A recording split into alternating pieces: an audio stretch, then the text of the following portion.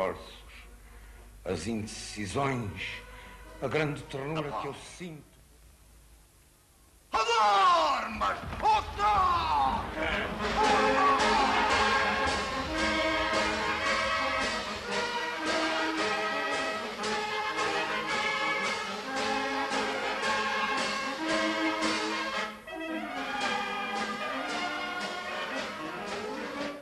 João Diogo manda parar a filarmónica e sussurra ao ouvido do alcaide de Olivença o que é, de facto,